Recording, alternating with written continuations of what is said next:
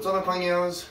Andy, Andy Vlogs. Gonna do something I've never done before, which I'm pretty nervous to do. We're using this Homax Tough as Tile. Alright, I need to pause. This is Andy from well into the future. I need to give you guys a heads up. This product is garbage. It's no good. It didn't come with the instructions in this specific box. It didn't come with the cleaning kit. And so I, I really, really am hesitant to put this out, but I wanted to show you my story and my experience. Get a professional to do it or just get a new tub. This spray on stuff is crap. Let's enjoy the show. Spray on tub and sink tile refinishing kit. Basically, if you come look at our tub, it is disgusting. It's rusting out and the enamel is coming out and we need to put a, a finish on it.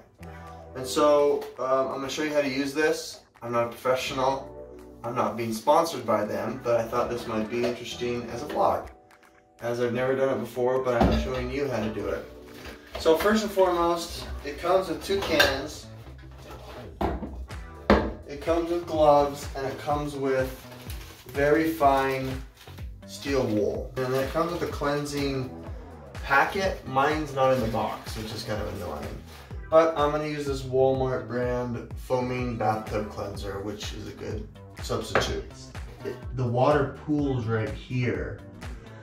I was pushing all the water in this natural lip, and so that's why this started to rust, because over the years, as the water sat and pooled there, it rusted through. So we're gonna spray some of this stuff. We're gonna get all the rust up as best we can. I'd like to just do a a spray around the tub as well.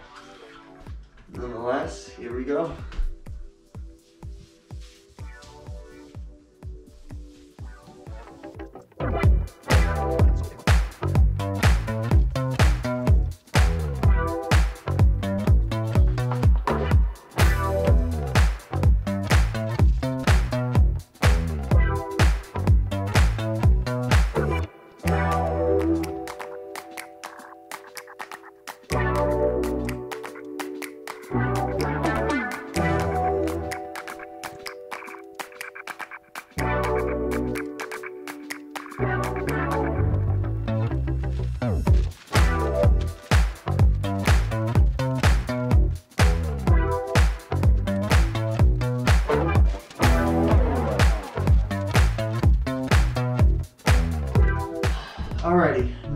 Got it all taped up to my pleasure, to my liking. Now it's time to put on the gloves and start the party. This is where I made my biggest blunder because I didn't have the instruction manual. I didn't know how long I was supposed to shake literally the enamel spray paint for. The instructions now that I know say to shake it for two to three minutes, but in reality, I actually shook this stuff for five to seven, almost 10 minutes because the mixture inside had coagulated so much that when you shake it for two minutes vigorously, it, it didn't quite come together. And so when I sprayed it on for this first coat, it was literally just spraying half of the chemical. And then once I got down to the other half of the can, then the other chemical came out, and that's what was so toxic, and that's what made this experience so horrible.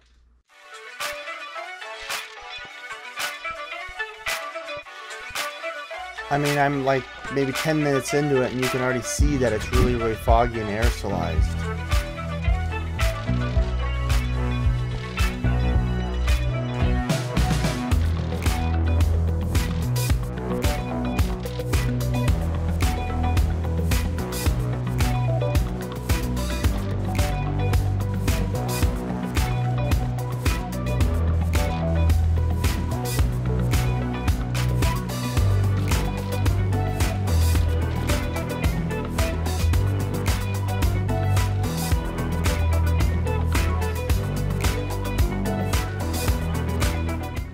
All right, post spray analysis. It's a war zone in there. It went bad. It is not good. There's paint everywhere, aerosol everywhere. I have paint everywhere. It's in my hair, it's in my arm hair, it's on my face. I gotta get this off me. This is really bad. I'm panicking just a little bit, just a little bit. I went through $50 of spray paint. Each can was $25 and it's enamel, which hopefully it cures really well and we'll just, and then I'll uh, give you an update in 48 hours. All right, folks, we're back at it. I'm gonna do a second coat. I've been shaking this for like five minutes, five minutes straight. That's uh, the important part of it. My mom brought me a really nice mask that they had in, in their junk and this will help protect my obviously my lungs because I've been coughing up so much of that enamel crap. Make sure you have a mask, please. It's so important. Uh, this time, I'm gonna try to lay it on as thick as I can. There's an area right here that I just, just soaked. And it's the best feeling right now. It's the soft enamel. Right here is still like really, really gritty and uh, also here as well. So that's what I'm gonna do. We're gonna lay it on as thick as we can. Come join us.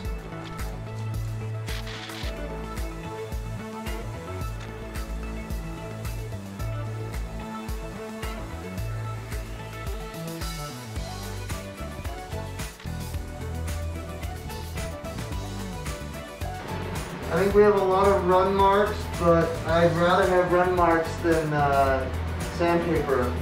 Okay, we're gonna call it, that's it. That's all I can do. That's four airsoft spray cans full on one. I thought only two would work, but nope.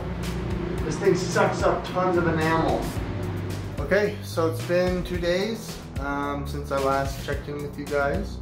Let's take a look at what it looks like. I think it looks really good. You really got the enamel shine and sheen and gloss. Just don't look any closer than this, because again, it's not it's not the same brand new. I mean, you can see right there definitely some issues. Okay, so we're here three days later after it's all cured. It should be fine enough for me to be able to run. It actually is. That's crazy how it cured. It it it's super important that you let it cure because it gets softer and it enamelizes or whatever it's called. But I can still feel some areas where it's like it's rough we're gonna run the water now. My biggest thing was that there's water that pools right here, and I was I was hoping that I could get rid of that. Um, let's throw the shower on.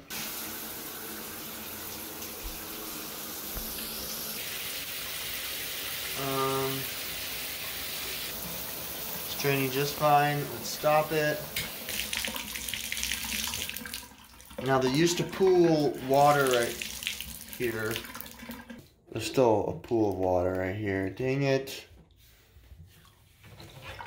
I was hoping that I laid it thick so it didn't pool right there. Alright, well, it worked. It looks good. Alright, with that said, Andy with Andy Vlogs signing out. Thanks for uh, hanging out. Bye. What?